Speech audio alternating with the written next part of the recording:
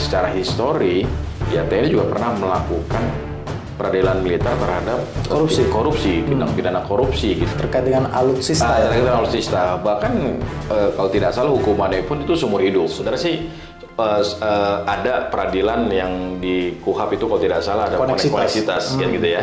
Yang itu antara peradilan umum dan peradilan militer menjadi satu. Jadi kalau kita bicara eh, apa namanya ada unsur militer, tentunya kita harus lebih berhati-hati dalam menetapkan sesuatu karena apa? Mereka juga punya eh, unsur TNI ini punya punya undang-undang khusus. eh, Konferensi persnya gitu. Persnya harusnya ya ada unsur TNI, TNI mungkin juga, dihadirkan di situ juga. sehingga memberi kesan memang sudah ada Iya, koordinasi betul, gitu ya. ya.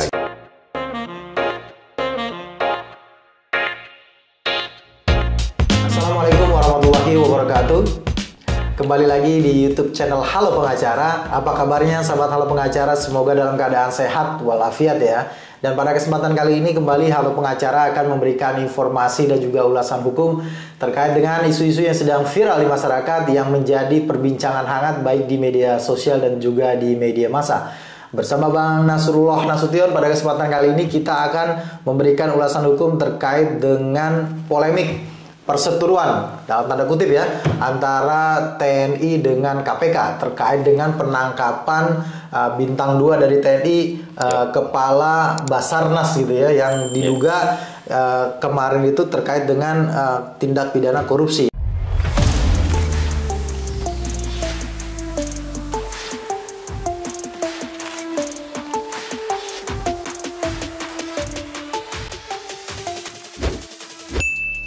Ya, kalau berdasarkan uh, rilisnya dari ya KPK di sini disebutkan bahwa KPK menetapkan lima tersangka dalam kasus dugaan suap pengadaan barang dan jasa di Basarnas.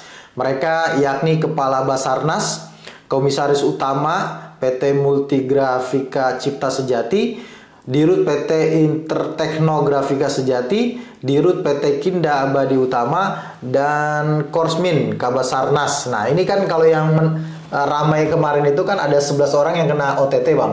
Dua, ah, satu di antaranya adalah eh, sebagai eh, pangkatnya kalau nggak salah letkol gitu ya, Yep. yang menjadi eh, bisa dikatakan anak buahnya dari eh, kabar eh, kepala Basarnas itu. Nah yang jadi pertanyaan bang ini kan, apakah eh, kemarin kan isunya bahwa kemudian KPK minta maaf gitu ya, Iya. minta maaf terkait dengan penetapan tersangka Iya. Kabasarnas dan Iya. eh, letkol eh, Afri kalau tidak salah Iya, gitu iya. ya. Dan kemudian katanya ini akan diadili melalui peradilan militer. Dan jadi Iya. pertanyaan bang, memangnya eh, KPK dalam hal ini juga pengadilan tindak pidana korupsi ini sebagai leg spesialis gitu ya dari tindak pidana umum gitu ya. Ini tidak berwenang mengadili orang-orang yang memang berstatus sebagai eh, militer gitu katakanlah. Iya, ini yang menarik Bang Heri ya. Sebenarnya ini cukup menarik. Isu ini juga dalam mungkin bisa jadi jadi jadi diskusi para pakar nih. Diskusi para pakar, diskusi para intelektual, diskusi para aktivis. Bagaimana proses penegakan hukum yang melibatkan di dalamnya adalah khususnya tindak pidana korupsi yang di dalamnya adalah eh, apa namanya yang diduga adalah oleh, oleh pelakunya adalah militer aktif. Itu cukup menarik sebenarnya. Ya. Kalau kita pernah kalau kita melihat merujuk daripada ketentuannya ya sebenarnya juga eh, dari undang-undang KPK itu mungkin memiliki kewenangan. Nah, persoalannya adalah bagaimana mengkoordinasikan terus men- me- apa namanya mendorong ini agar adanya eh, komunikasi yang baik antar para pihak. Komunikasi baik dalam artinya adalah dalam proses penegakan hukum ya, bukan dalam hal yang lainnya dalam penegakan hukum. Kan bagaimanapun juga TNI punya kita pahami adalah memiliki undang-undang, ya kan, yang dia punya spesialis juga. Kalau tadi Bang Heri bilang ini tipikor juga adalah undang-undang spesialis gitu ya. Undang-undang spe- eh, eh, khusus juga TNI juga punya undang-undang khusus. Ketika yang khusus ini bertemu, nah ini apa yang apa yang harus dijadikan gitu kira-kira. Kalau kita lihat juga eh, secara histori, ya TNI juga pernah melakukan eh, menggelar eh, apa namanya peradilan peradilan militer terhadap Korupsi. korupsi, tindak pidana korupsi gitu ya. Kalau tidak salah terkait dengan alutsista Ah, ya. terkait dengan alutsista. Bahkan eh, kalau tidak salah hukumannya pun itu seumur hidup. Seumur hidup. Kalau nggak salah tuh di tahun 2016 gitu ya. Ya, artinya lebih tegas juga saya lihat gitu ya, lebih Iya. tegas dan lebih apa namanya, lebih lebih Nah, sekarang sebenarnya persoalan utamanya di Iya. mana, Bang? Sampai ada ini gitu ya, sampai ada permintaan maaf dari Iya. uh, pimpinan KPK, kemudian ada yang mengundurkan diri Iya. dari pe- penyidik atau penyelidiknya Iya, begitu ya. iya. Ya ini apa persoalannya kok sampai sejauh itu gitu? Ya sebenarnya sih kalau kita bicara atau baca dari sisi media ya media yang kita dapatkan itu sebenarnya semua pihak mungkin sepakat kalau ada tindak pidana korupsi harus kita eh, kita kita berantas lah gitu ya baik dari pihak eh, TNI maupun dari PKPK. Berarti KPK dengan TNI punya persamaan, Persamaan. bahwa memang tidak pidana korupsi ini harus Iya, ditindak. iya, harus Yang jadi persoalan adalah di titik mana? Nah, persoalannya adalah titik bagaimana mengkomunikasikan apabila terjadi salah satu salah satu pihaknya adalah dari pihak militer, kan gitu ya. Eh, mungkin bisa jadi kalau dugaan-dugaan terkait dengan pihak militer eh, se- sebaiknya memang melibatkan eh, unsur militer dalam proses bagaimana dari proses tahapan sampai pada proses penetapan sehingga tidak ada yang dirasa eh, merasa eh, dilanggar kan gitu ya. Nah, mungkin ada beberapa banyak pendapat Bang yang juga pro dan kontra terkait dengan penetapan tersangkanya ya. Kalau kita lihat eh, pro dan kontra penetapan tersangka itu adalah si- sifatnya yang sifatnya formil ya. Sedangkan materialnya mereka sepakat lah kalau tindak pidana eh, korupsi itu memang harus diberantas, penegakan hukum itu harus ditegakkan setegak-tegaknya, dan ini yang mungkin menjadi eh, kerangka acuan yang perlu kita sepakati oleh oleh oleh publik.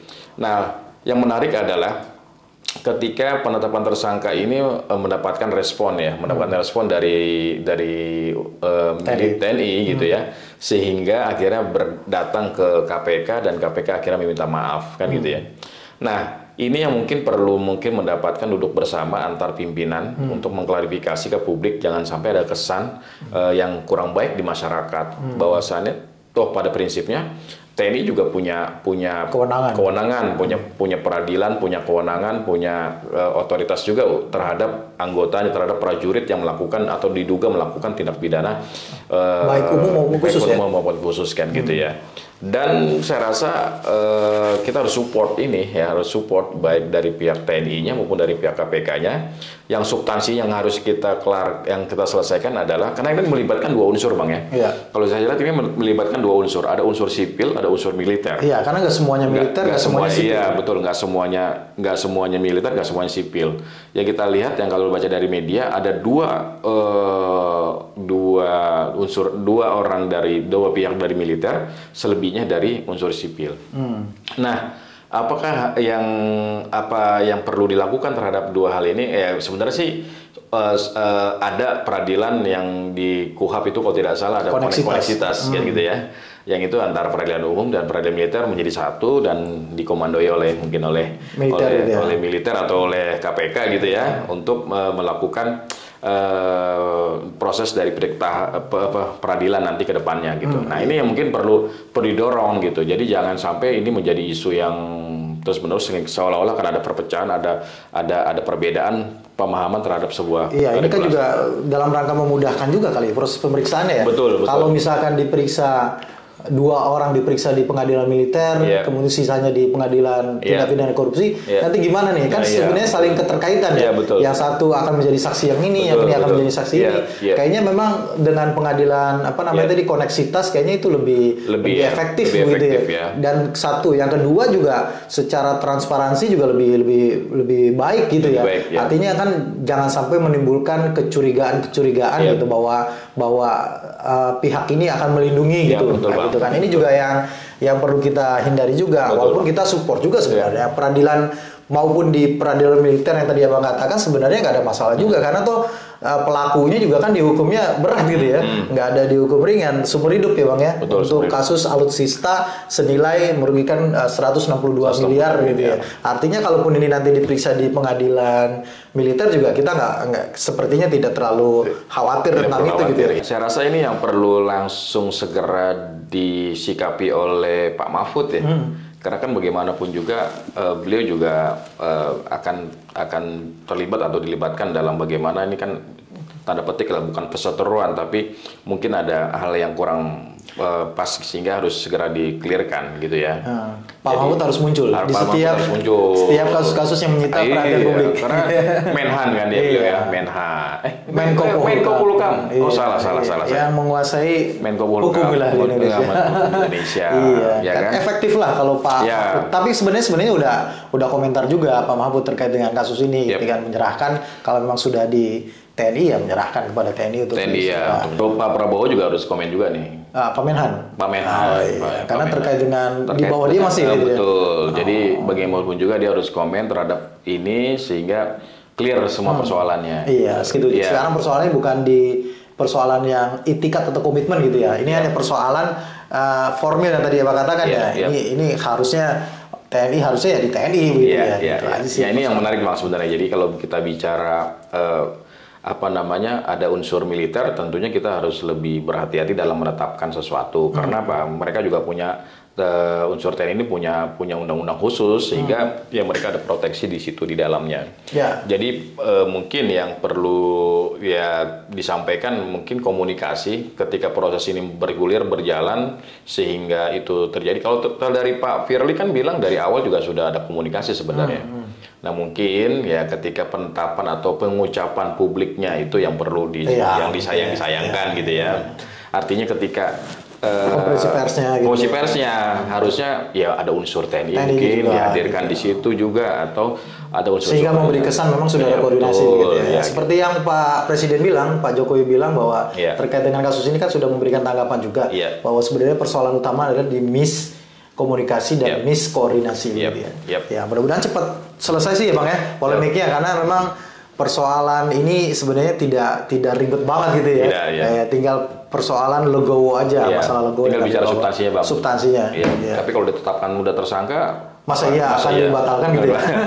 saya rasa enggak. Iya. Saya rasa sih kemungkinan TNI akan menindaklanjuti lah. Menindaklanjuti. Karena dugaan ini kan berat juga ya. Jika menindaklanjuti apakah akan diperiksa dari awal atau akan melanjutkan dari apa Iya. yang telah dilakukan? Karena kalau dari berita ini bang tidak hanya satu uh, tindak pidana, maksudnya tidak hanya satu dugaan korupsinya kan Iya. ada beberapa korupsi yang memang di, di- diduga gitu ya, Iya. yang nilainya 99 miliar Iya. terkait dengan pengadaan peralatan deteksi korban kerun- reruntuhan, kemudian ada juga nilainya 17,3 miliar terkait dengan uh, pengadaan public safety diving equipment gitu ya. Kemudian terakhir ada pengadaan ROV untuk KK, KN SAR Ganesha itu senilai 89,9 miliar besar juga. Besar juga Kalau ya. digabungin mungkin senilai dengan yang yang waktu kasus sebelumnya pengadaan Yap, yap, alutsista yap. gitu ya. Tapi ini baru dugaan bang. Baru dugaan. Nah, ini juga kan dapatnya kita dari media ya, perlu diklarifikasi melalui uh, penyelidikan lebih lanjut begitu. Iya.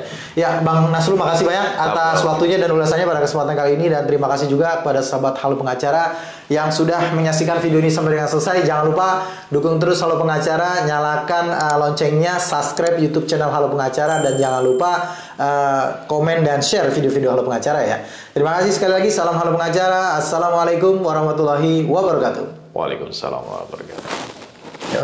Eh.